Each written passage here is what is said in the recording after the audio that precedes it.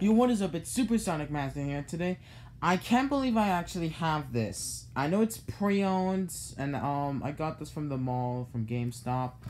I have Sonic Forces! Look at this game!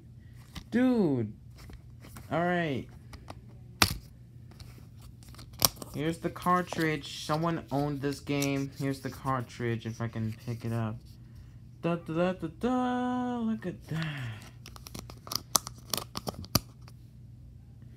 And let's look at the characters. We have whoever that guy is, Knuckles, Tails, Modern Sonic, Classic Sonic.